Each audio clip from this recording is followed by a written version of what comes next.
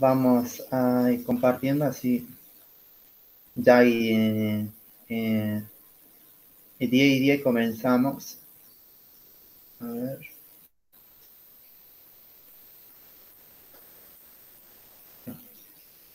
Creo que están pudiendo ver la pantalla que compartí. Sí. Mm. Hoy día vamos a ver conjuntos numéricos. Así que...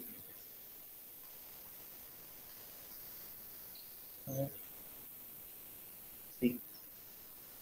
Enseguida comenzamos.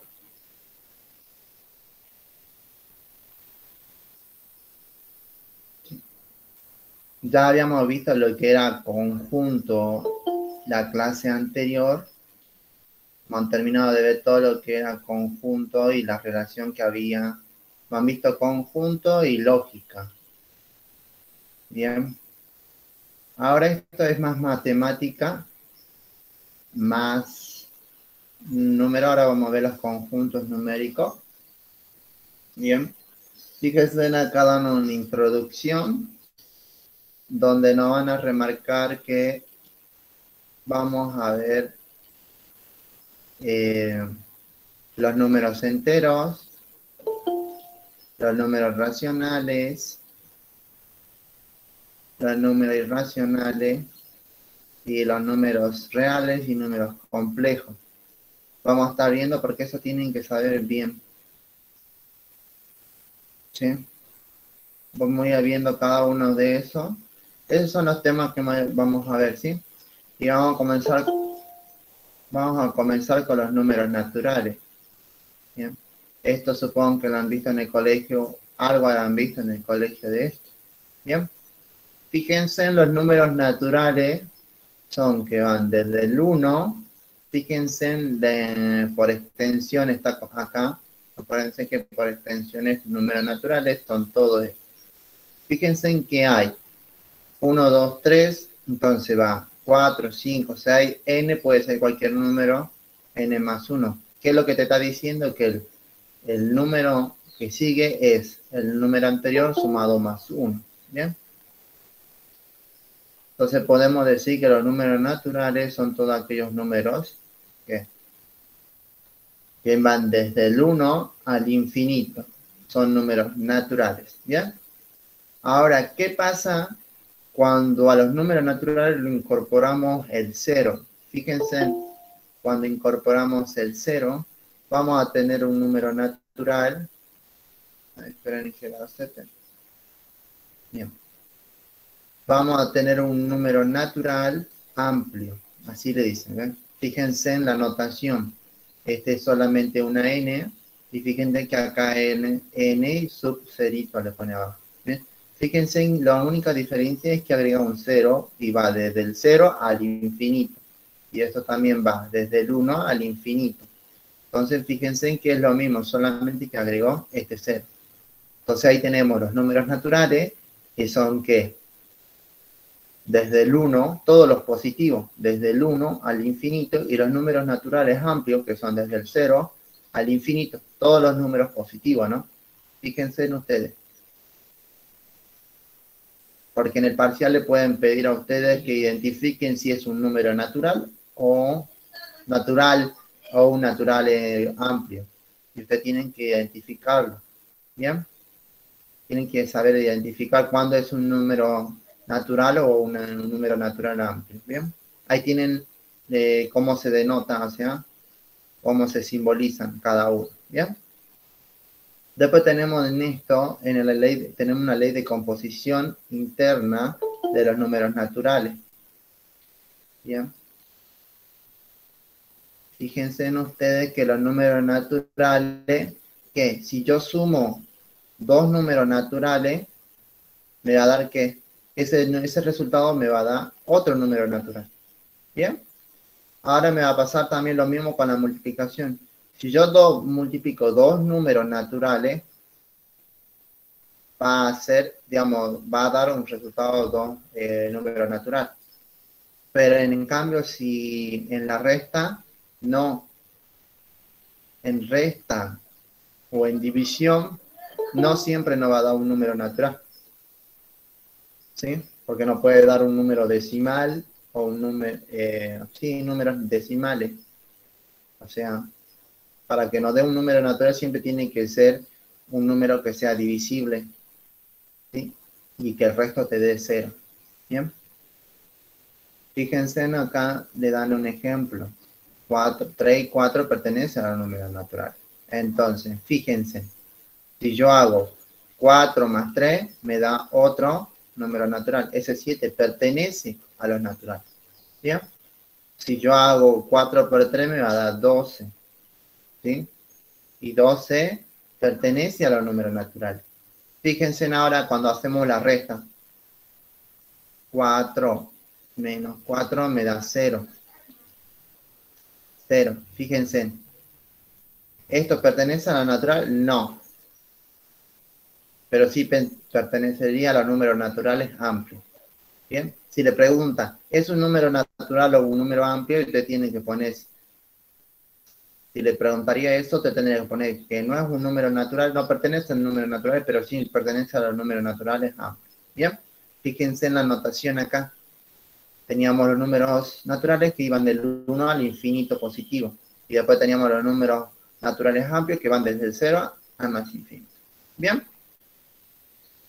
Fíjense en que acá la división lo mismo. Fíjense. 3 dividido a 4 me da 0,75. Como ustedes saben muy bien 0,75, entonces no vendría a ser un número natural. ¿Bien? ¿Se entendió los números naturales? Sí, profe. Bien, buenísimo. Gracias por responder. Fíjense en todas las operaciones que podemos hacer con los números naturales. Tenemos cinco leyes, fíjense. Tenemos cinco leyes que se llaman leyes fundamentales de la aritmética. Bien. Tenemos la asociatividad de la adición. Fíjense, podemos asociar, o sea, agrupar de diferentes maneras y nos va a dar un número natural lo mismo, en una suma, ¿no?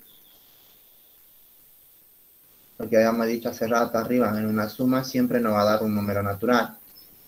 Fíjense en acá, asociativa de la multiplicación. Acuérdense que en la multiplicación lo mismo pasaba. No importa cómo multiplique primero este grupo o de esta forma, siempre me va a dar el mismo número y aparte que me dé el mismo número va a ser un número natural. Bien. Esas leyes tienen que saber. Conmutativa. Fíjense. Sumar A más B es lo mismo que sumar B más A. Y me va a seguir dando un número natural. ¿Ya? Conmutativa con respecto a la multiplicación, acuérdense, es lo mismo que yo diga A por B o B por A. Acuérdense, es lo mismo que decir 2 por 4, 8 o 4 por 2 8. ¿Bien? Es lo mismo. Distributiva. Fíjense en respecto de la suma. Fíjense en que hacemos, acá tenemos una multiplicación, podemos aplicar la distributiva y cuando apliquemos la distributiva nos va a dar el mismo resultado. Y como acuérdense, como es suma y multiplicación, nos va a dar un número natural. Bien, esas son las cinco leyes de la aritmética. Bien, ahí terminamos. ¿Se entendió los números naturales? Conjunto de números naturales. Así pasamos al otro número, a los otros conjuntos. Profe, disculpe que le haga una consulta. Eh, ¿Cómo se, se, pronuncia el simbolito que está como en la A invertida? Para todos, para todo A, B y C que pertenecen a los números naturales, A más B más, entre paréntesis, B más C. A eso que ya sabes, para todos se aquí. Para todo A y B. ¿Listo? Gracias, profe. Pasamos al otro. ¿Algo otra duda? Acuérdense que estas E también hemos visto, pertenece, se lee. Esta es la A para todos y este pertenece. Bien. Pasamos al otro entonces. No hay otra duda más, ¿no? Bien. Tenemos los números enteros. Bien. Fíjense en ustedes los números de enteros. Teníamos los números naturales y ahora vamos a tener los números enteros. Los números enteros, en este caso, va a incorporar lo que son los negativos, ¿bien? Y en este caso vamos a hacer, fíjense en cómo se va a simbolizar los números enteros. Y vamos a hacer los números naturales, ¿se acuerdan? Estos eran los números naturales y esto significaba unión. Vamos a unir con el conjunto del cero, porque no estaba, acuérdense que si incluíamos el cero era un número natural amplio. Y acá vamos a tener los enteros negativos. Bien, fíjense en ustedes, así se denotaban enteros negativos. Bien, ahora nosotros queremos saber todos los números enteros, entonces van a incluir los naturales, unido con el conjunto que incluye el cero, más la unión de los enteros negativos. Por ende, me va a dar todo el conjunto de números enteros. Bien.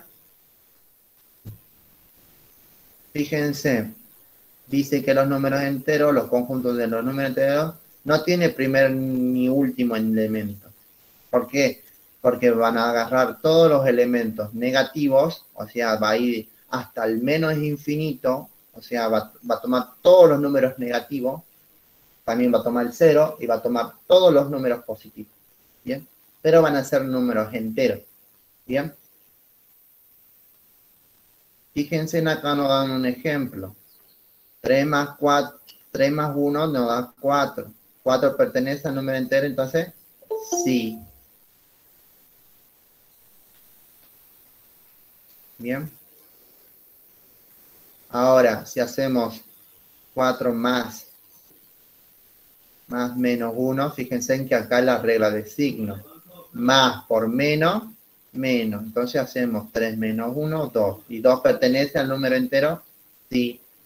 Bien. Vamos a otro ejemplo. Menos 7 más 10 me va a dar 3 positivo.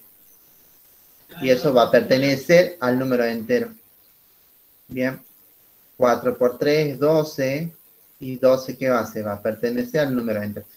Fíjense en ustedes que solamente son números enteros y que pueden ser negativos o positivos. ¿Bien?